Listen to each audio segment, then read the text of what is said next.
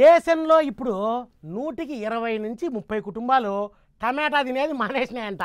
ముట్టుకుంటే జేబుకు బొక్క పడుతుందని కిలో టమాటా కొనే డబ్బులతో ఇంకో నాలుగైదు కూరగాయలు కొనుక్కోవచ్చు.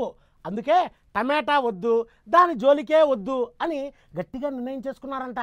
కానీ ఇట్లాంటి సమయంలో రోడ్డు మీద టమాటాలు అట్టా కుప్పలు కుప్పలు కుప్పలు కనిపిస్తే ఏమవుతుంది ఏమవుతుంది అంటారా ఏమో నాకేం తెలియదు మీరే చూసేయండి. రోడ్డు పక్క పొంటి పుట్లు పుట్లు టమాటాలు కనిపిస్తే బత్తాలకు బత్తాలు నింపుకొని పోవచ్చేమో అనుకునేరు. అమ్మా ఆశ దోశ అప్పడం వాడ? అగ చూడరి ఆదిలాబాద్ పట్నం దగ్గర పట్ల శనివారం సాయంత్రం పల్టీ కొట్టింది టమాటాల లారీ. దగ్గర దగ్గర ఇరవై ఐదు లక్షలు ఇలువ చేసే పద్దెనిమిది టన్నుల టమాటాలు కుప్పలకు కుప్పలు రోడ్డు పక్క పొంటే పడ్డాయి. పబ్లిక్ ఎగబడ్డరు చూడనికే. కానీ ఒక్కళ్ళు కూడా ఒక్కటంటే ఒక్క టమాటా కూడా ముట్టలేదు. అబ్బాయి ఎంత మంచోళ్ళు. ఈ కాలంలో గంత నియతకాల్లోళ్ళు ఉన్నారా? అనుకునేరు. టమాటా లారీ పల్టీ కొట్టిందనే ముచ్చట తెలవంగానే పోలీసోళ్ళు ఆగం ఆగం ఊరుకొచ్చి బందోబస్తు చేసిరాట మాపటీలు కునుకు తీయకుండా కావలి ఊకున్నారట. అది అందుకు లారీ పల్టీ కొట్టినా టమాటాలు పోలేవు. లేకపోతేనా మక్కచేను మీద మిడతలు బాలినట్టు బెల్లం చుట్టూ ఈగలు ముసిరినట్టు లారీ మొత్తం గుల్ల గుల్ల చేసేటోళ్ళు.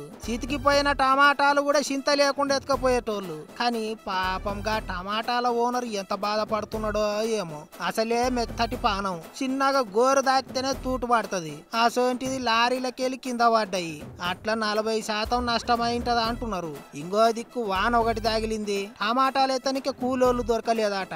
కింద పడ్డ టమాటాలన్నీ మళ్ళా లారీలకు ఎత్తటాలకు ముప్పు తిప్పల పడి మూడు చెర్ల నీళ్ళు తాగినట్టు అయింది. కిలో టమాటా నూట నలభై పలుకుతున్నది. టమాటాలను దొంగలు పడి ఎత్తుకపోతున్న గీసోంటి ఆలల్లా కండ్ల ముంగట్నే గాని టమాటాలు రోడ్డు పాలయ్యటాలకు అయ్యయ్యో అని చాలా మంది కండ్లల్లో నీళ్ళు ఒత్తుకున్నారట.